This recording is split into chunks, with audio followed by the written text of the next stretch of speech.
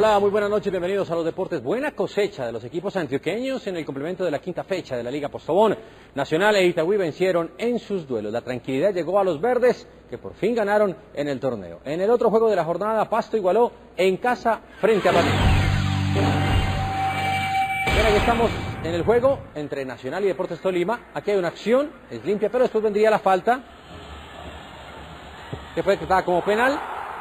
Félix Noguera aparece para conseguir el 1 por 0 en favor del Tolima. Sería el único del Vinotinto y Oro porque después llegaría primero la igualdad de Atlético Nacional por intermedio de Félix de Jefferson Duque.